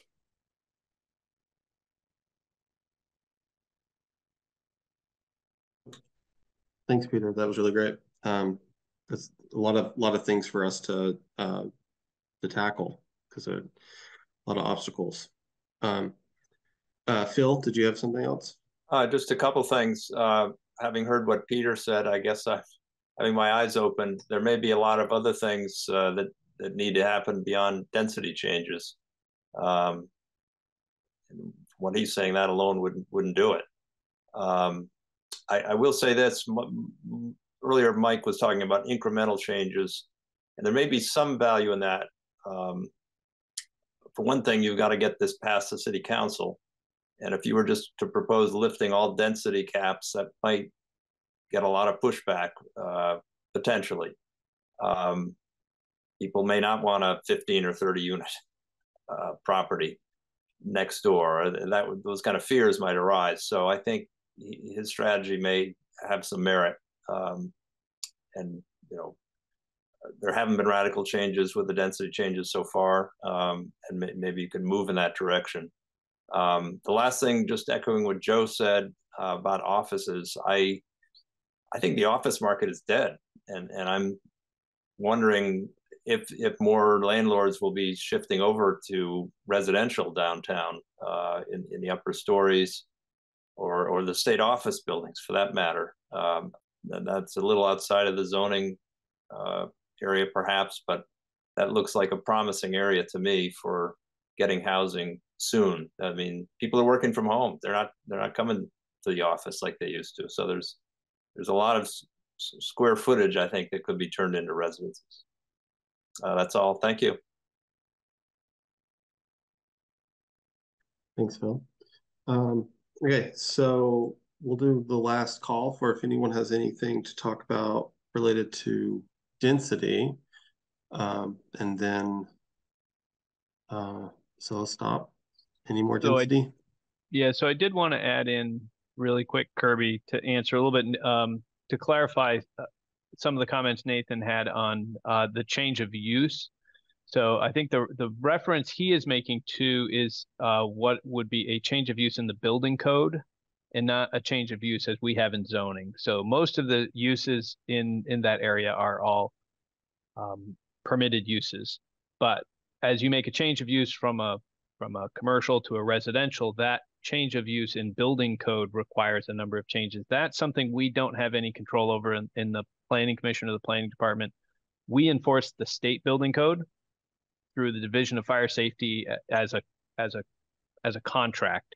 So we're basically enforcing the state building code locally using um, Michelle Savory, who's our building inspector. So just so everybody's aware, that's that's just a clarification, uh, or uh, so there isn't a confusion that when sometimes we talk about zoning and talk about change of use, we do have a change of use in zoning, but the change of use Nathan was referring to is actually from the building code, and that that is that is a thing. Um, as you just shift from one to the other, some buildings that are already set up with sprinklers can very easily shift from office to residential and residential back to office if it's always been commercial and has never been residential, then you're in a different class and you need different, I don't know, sheetrock and different, there are different requirements because you're going to have sleeping residents. And so the fire codes are higher. So just so there's clarification for everyone. Thank you, Mike. That was part of what I ran into as well. The building codes. Yeah, thanks. Thanks uh, for the clarification, Mike. Uh, it looks like we we have um, a, a new uh, person interested in commenting on density. Uh, Sal.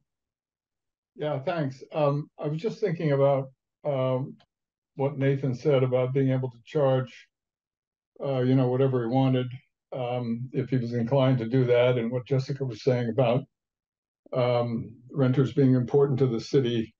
It seems like a change in density would it, one immediate effect would be an increase in rental properties, uh, which may bring the cost down um, slowly, but it may bring it down. I just wonder what tools, if any, does the city have to control ownership?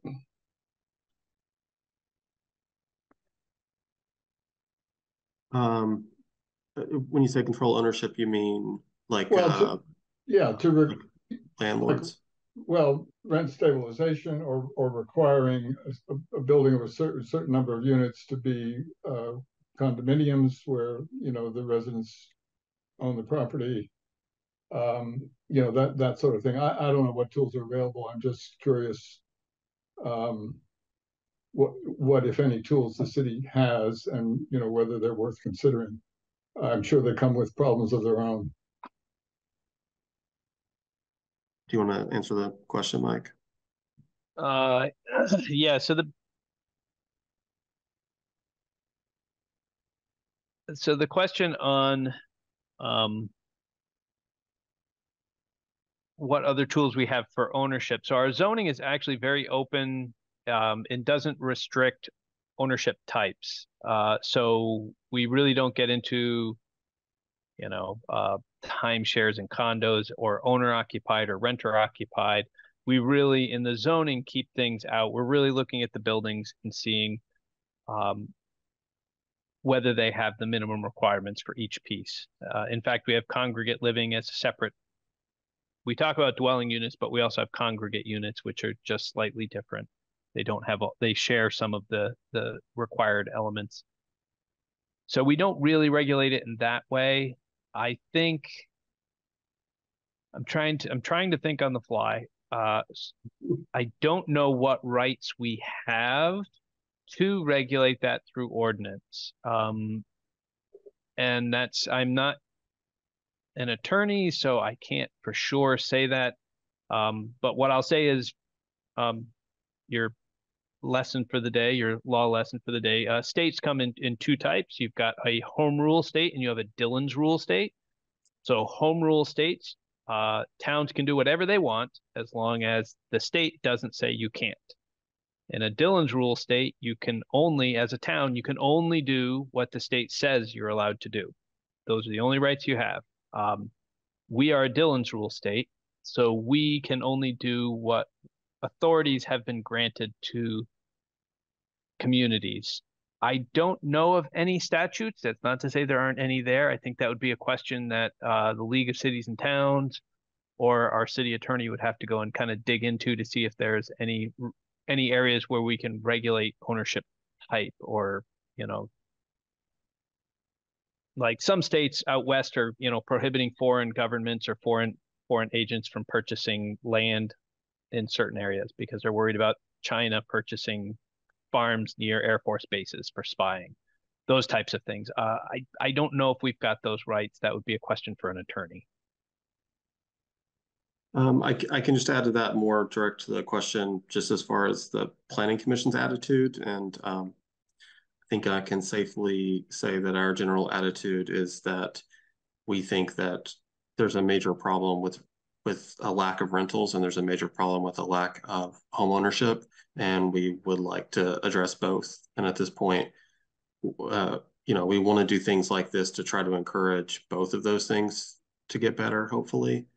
Uh, and i just don't even know if we're like you know we don't have the luxury of having a preference at this point. I'm not sure that we would ever want a preference but but uh, it's just not something i think that we're concerned with trying to to influence. Uh, Nathan. Just a uh, um, was that Sal's comment made me think of something, and this is a little bit outside the nine dots, but if the and and we don't necessarily have a city that's terribly entrepreneurial, but it could be that uh, either the city or a sort of extra governmental body like a Montpelier Live, but for housing, could bid on properties that are for sale with the intent to, you know, if it's a three unit, with the intent to purchase it, make it into condos, and then sell it to the market um, as the sort of enabler of that action. And a, um, you know, so when I if I buy a three unit, I'm buying a used used housing that's pre-existing. I'm not adding to the housing count, and I'm, what I'm doing is I'm ensuring my future wealth, right? Because long term it's going to work out. Whereas if those become condos, they are entry points to the to equity into the housing market for first time homebuyers, which would be awesome. So from a mission perspective, if the city or some arm of the city were to say, eh, let's let's try to get you know, let's try to help more people enter enter homeownership by doing by buying that. You know, the one on Franklin just came on the market. It's a I don't know, it was a five or five or six unit, five unit, I think. You know, if the city bought that, made it into condos, and then all of a sudden sells sells five condos, and that that would be transformative. And if it if it matched the the goals, uh, that could be pretty cool. Just my opinion.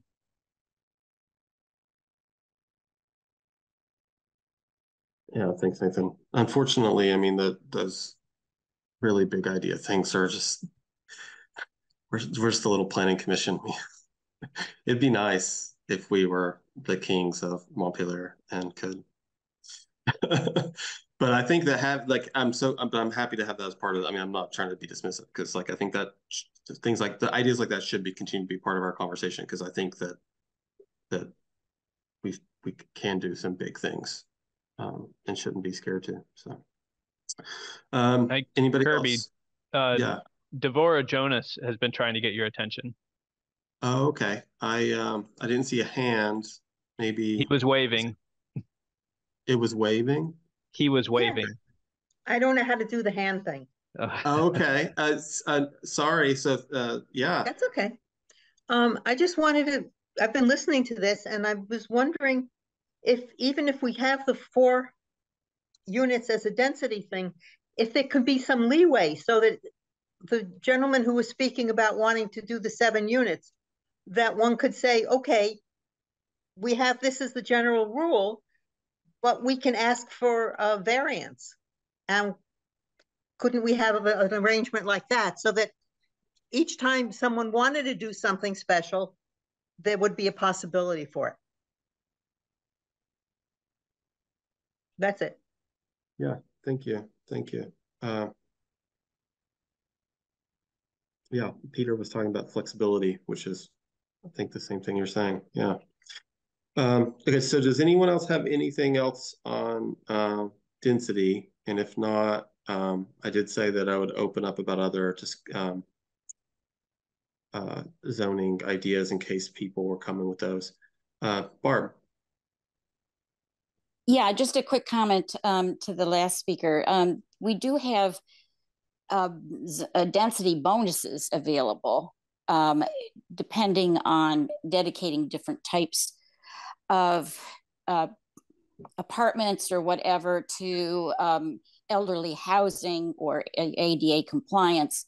So it's possible that they could actually put more units in there than are tec- te- technically required by by the zoning. Those are still in place, correct, Mike? Yeah. Yeah, I was able to add one, so I could do five instead of four. But not seven. Thanks. Thanks for the clarification, Peter. Um, okay. So anything else on density? Um, if not, if, if anybody has, uh, any other zoning ideas, um, anything they'd like to, to, uh, let the planning commission know about, um, I wanna give that space now if, if people would like to.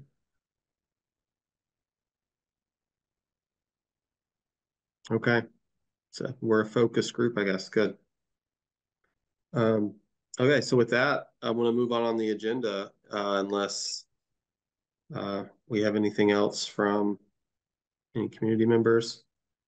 Um, any planning commissioners want to talk density before we move on? Just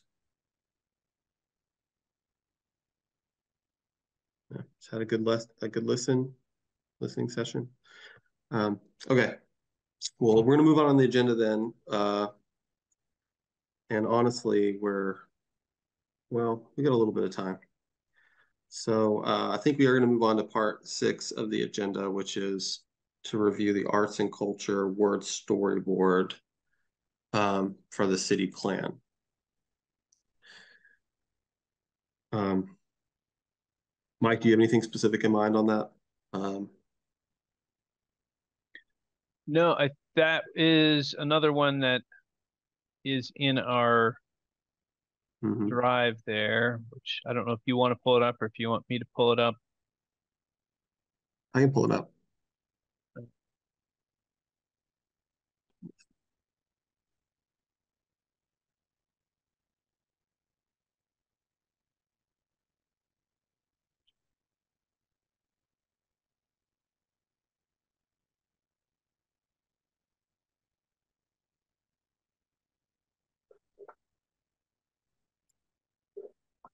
Okay, uh.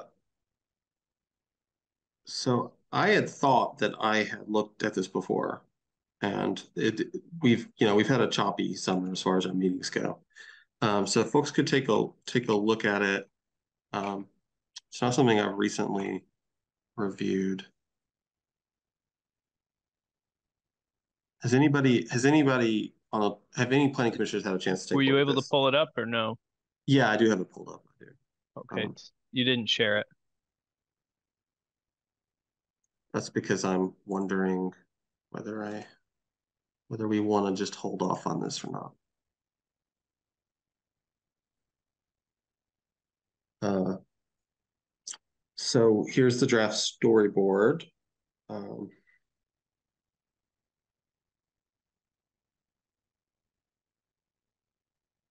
we, this is a second draft. Um, my memory is coming to me, right, Mike? We've reviewed this before and we had I remember having, I, I don't know anything about this, but I remember Maria had a lot of like really good comments. So I remember that we talked about it. Yeah, yeah. I'm I'm remembering that. Yeah, and So and maybe it's- it is already different. approved. They were asking us which ones had been approved and I didn't see a quick approval on this one, so. It it this looks like it's been yeah changed post feedback from us because it, it didn't open up this way. I I um so I do think I like it. So if everybody could take a minute just to to read over it, um, see if we if we notice anything else.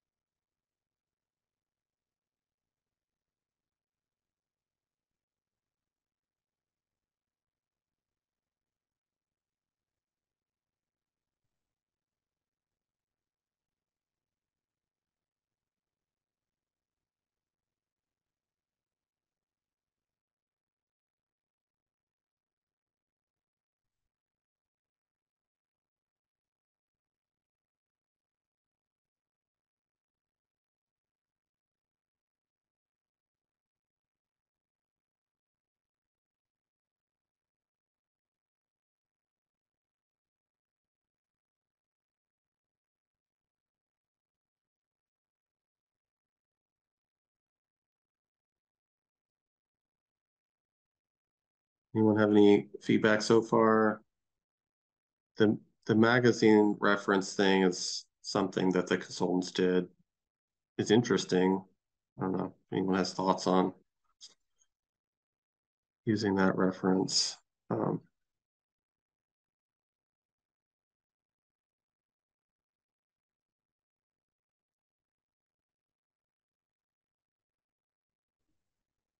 Kirby, do you know if that's a recent uh best of list?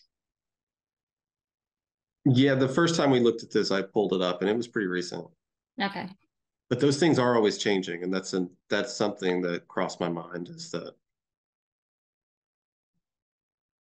that magazine may very well put out a new nine best the next month. You should Um, probably make a note to, that they should put a date on that. You know, in 2022 or in 2023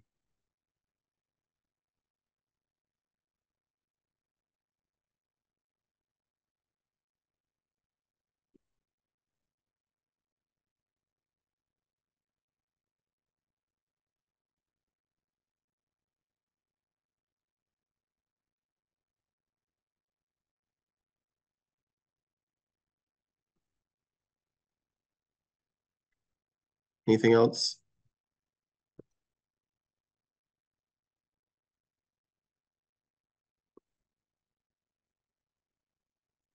I think uh, I think it it's good to pass along, Mike. Um, Right, cause they're, they're building these things out. Uh, I'm gonna try to get them in for one of our meetings coming up. Our grant technically runs out at the end of either end of September or end of October. So, um, they're gonna be putting together a whole bunch of these and again, um, once they're in storyboard, we can always go back. We, we always still have opportunity to make changes right on through, so. And I think that this just leaves us with community services and land use as the only two that aren't aren't done. So that's good. Uh, yeah, and as soon as you have any kind of bandwidth, Mike, I think that it probably is good for us to get started on land use. Um, that's going to be that's going to be a, a you know uh, as a reminder the planning commission, land use is the chapter that we write entirely ourselves. We're not having um, a draft of something sent to us. So we need to take all of the our previous work from the city plan and and sum that up into a holistic land use plan. I guess we're, we're going to probably have something to work off of, right, Mike? We'll probably work off I'll of. put I will, I will put a draft. I'll put a draft together that Um, you guys can work with. Uh, so yeah, so so uh, I'll work with Mike and, and Gabe and I'll work with Mike to uh get get that going on the agenda soon. But for everybody else, think about a vision for that. Uh, we can try to we can try to incorporate that vision. I mean, some questions are going to be, you know, how much our flood issue is going to be on our minds, how much we talk about housing a lot. Is that something that, you know, want to make forefront, et cetera? Um, okay, so uh, I think we're good. Don't uh, without a vote there, uh, which just leaves us with Just with the minutes and and if anyone has any questions on what's been going on, obviously we haven't met since well, we met once Mhm. briefly since the flood, but if anyone's got questions of that stuff, um, if you haven't heard or didn't know, we are meeting. Uh, we met with FEMA up at the site, um, up at Country Club Road. So we're actually uh, proposing. They're proposing. We'll see if it goes through. Putting Washington County's emergency housing. So they're the FEMA trailers. Putting 36 FEMA trailers up Country Club Road. So um, that will hopefully help us build the road system. We made all those plans to build out the lower part of the country club for high density housing. This would give us an opportunity to have FEMA pay for putting in the the sewer and water lines into that area, and then we would have the ability to um, use them later as the FEMA trailers are removed. So that's the um, one of the things that's going on that you'll probably hear some more about. And we've been obviously spending most of our time in the department just addressing the flooding. Um, most specifically, my office has been trying to uh, work with, well, from the permit side, we're handling obviously all the all those permits, but from the um, the personal side, we've been um, working with the folks that have had flooding into the first floor. So the most significantly damaged folks. We're trying to get money to try to elevate housing and to try to make sure they've got emergency housing. So that's been our a lot of our focus, uh, trying to learn all this the FEMA rules to try to get ourselves in a position to be able to apply for grants to tear down, um, do some buyouts if that's appropriate, but also to try to elevate buildings. And that's a lot of what we've been working on. Mike, would this, would the city be doing this buyouts or would it be just kind of facilitating FEMA doing it or how's that work? If they're buyouts, we'd be, we have to be the applicants, I think. We'd, we'd be a part of it. I know we would be a part of it. I don't know all the specifics. Okay, and what would be the, um, what would the city do with the land after? It's required, if it gets it to be a buyout, then it's required to be conserved. So that it would become owned by the city, but with a perpetual easement that prevents it to be developed in the future. Which is why we're trying to limit where that happens. In some cases, it's appropriate and it is the most appropriate thing to do. Um, that happened in Northfield, that's happened in um, some places in Barre. There's a number of properties that just they should never have been there in the first place, and it's time to buy them out, make sure there's nothing there.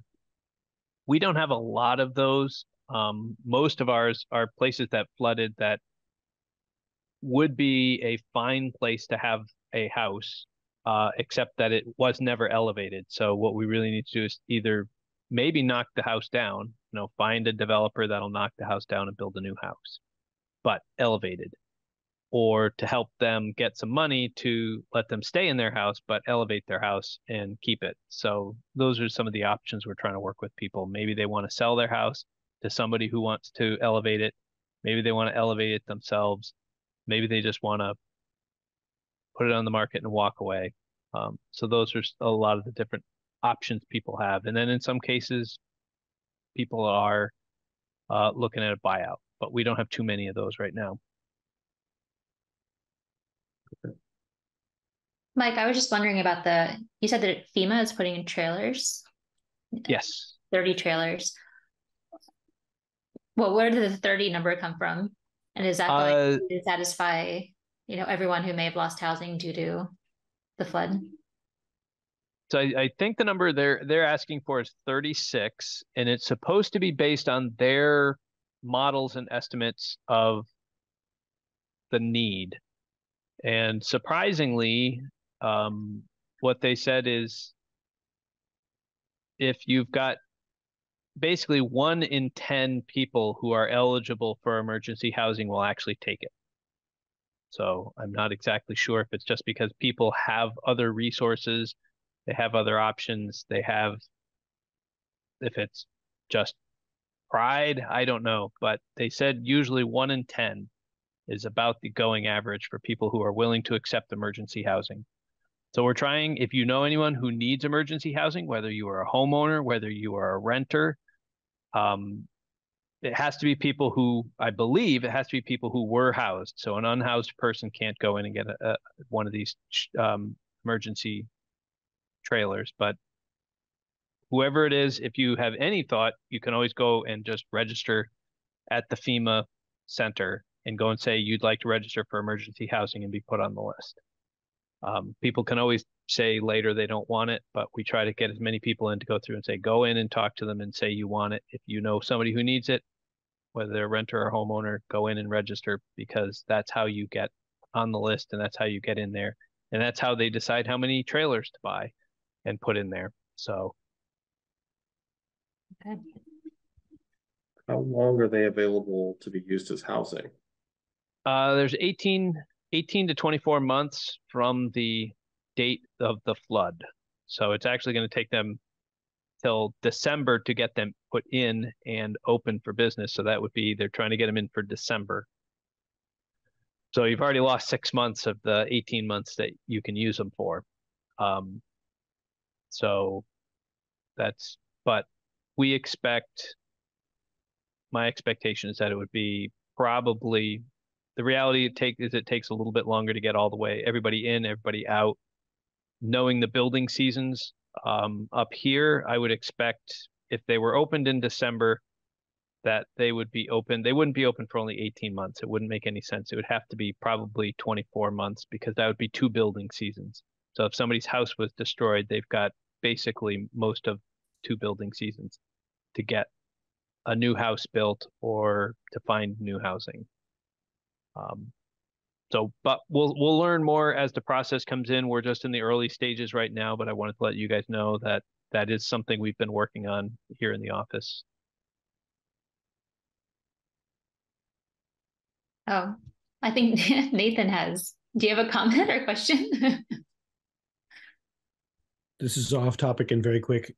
Uh, I missed whatever presentation about the four sort of thoughts or proposals about zoning. Um, and I just, uh, Mike or Kirby, if I can find a way to look at those sometime, I would like to look at them. That's all. Thank you. What's your email? Nathan Suter, N A T H A N S U T E R at Gmail. All right, pretty easy. We did a we did a write up for the bridge. It's possible that it's on the bridge's website. I, have, I haven't actually checked. Um, but yeah, he can send you. Are you gonna send him your presentation, Mike, or? Yep. Yeah.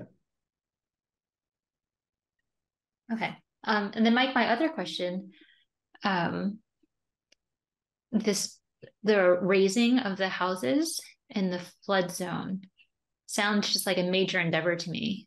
Um, like I'm imagining like a house going up on stilts. Is that the idea? Like, is that really? Uh, no, it's it, it it gets jacked up. Um, so they run boards, uh, beams underneath it, and they lift the house up. So as we were talking about elevating it, it doesn't stay on piers. This isn't like uh, the the Grand Banks off of North Carolina or something. This is you, you'll lift the building up, you'll pour a whole new foundation, you'll pour a slab, and then you put the building back down on top of it. Um, so either there'll be a crawl space underneath it and you keep your wooden floor, or you remove your wooden floor altogether and you set the building down and then you have a concrete slab which you then put you know you can tile you can put other things on top of it directly.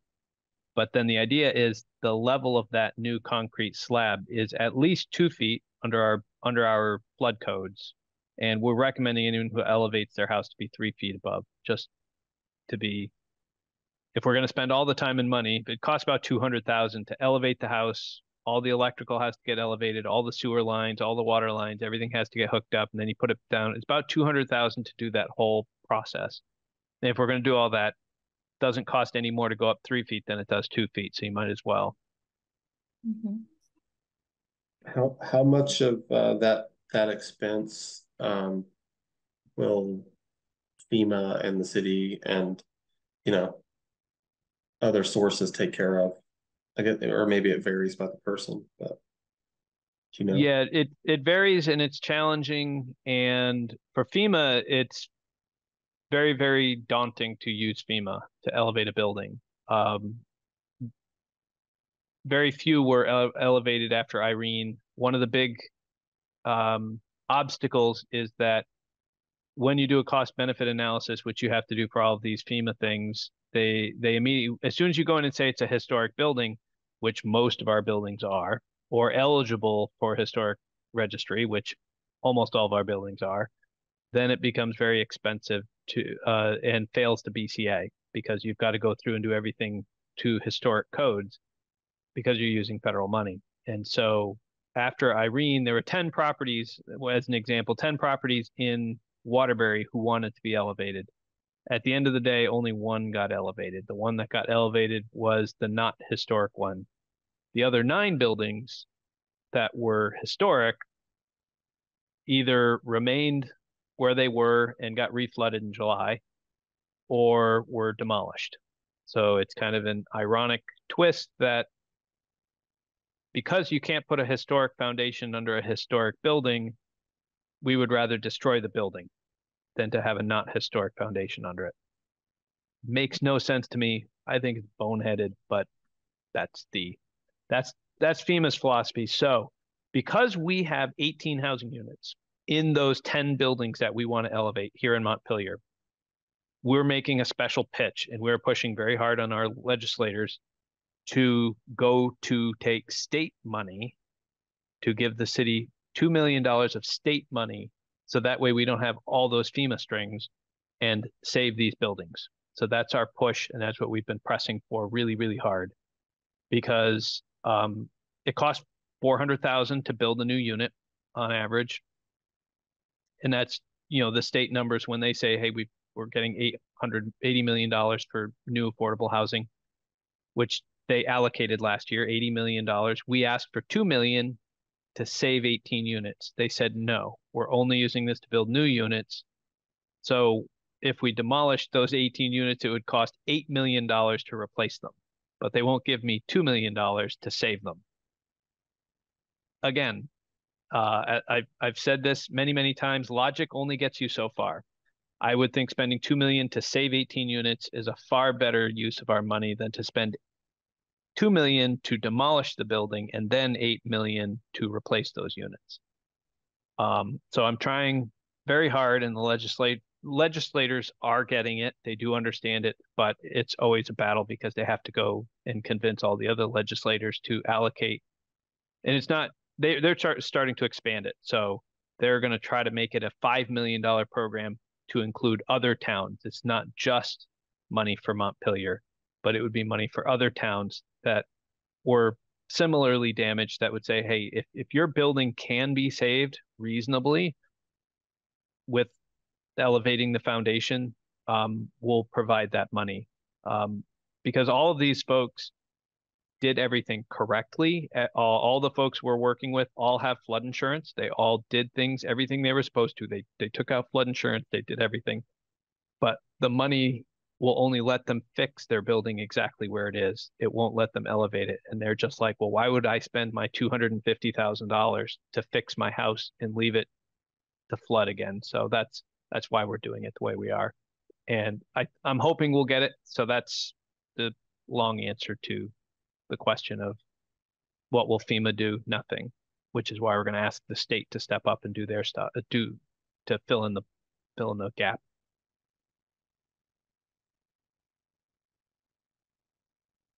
Okay, thanks, Mike. And uh, um, it was a good update because it it filled up the rest of our time perfectly. So, um, okay, guys, we'll we'll meet again in a couple of weeks.